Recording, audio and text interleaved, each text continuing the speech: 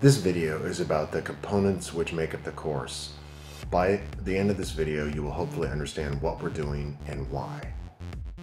Ideally, this video will result in you having a better understanding of why the course is organized the way it is. The first way to see the course is to look at it as a binary, product and process. With process, the emphasis is on doing things and learning while you're doing.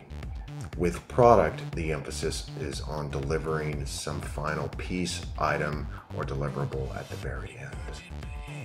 A second perspective is to look at the entire course holistically from a global perspective. We start out with the orientation first.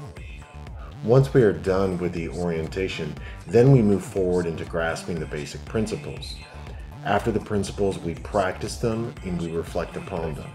Then we move into the creation of the instructional guide, and then we implement the instructional guide by testing it out on some actual users. After that, we evaluate the instructional guide.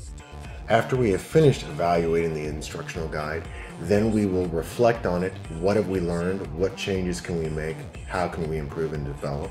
Then we prepare our next project, the final project, Third perspective is to look at the different activities and the outcomes which are desired from those activities. All of the core course activities are shown in the following slides, along with their desired outcomes. Rather than read them to you, I assume that you can read them and there will be some interesting music playing along.